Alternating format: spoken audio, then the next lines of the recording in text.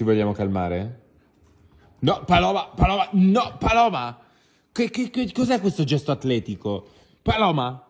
Ah, ah, ah, ogni sera Paloma fa gesti atletici casa Ferragnez. Significa che gli distruggete come si, come si lancia il volo dell'angelo su giù, su giù. E ogni volta becca toys da migliaia di euro. Fin quando poi si uh, accascia qua sopra Fedez e gli mangia i piedi. Ma dai, ma lui è contento di farseli mangiare. Lo fa apposta, glieli mette proprio in bocca, cazzo. E poi fa la vittima. Dai, Fedez, che Paloma ti piace da matti. Passiamo a cose più serie.